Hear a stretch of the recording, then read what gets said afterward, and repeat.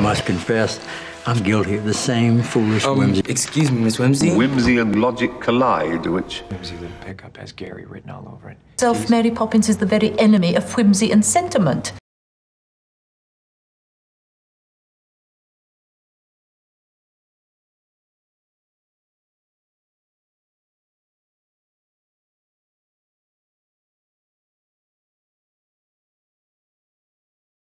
Position and the sound of the birds Music out. laughing at the winds.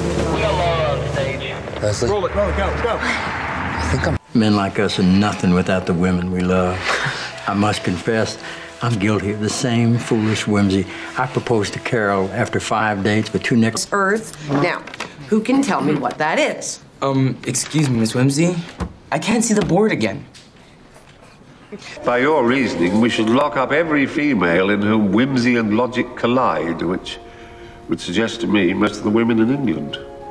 Here you do. It's outside. I'm guessing you're the Camaro. That whimsy little pickup has Gary written all over it. Keys? I can't. It's Jeb's car.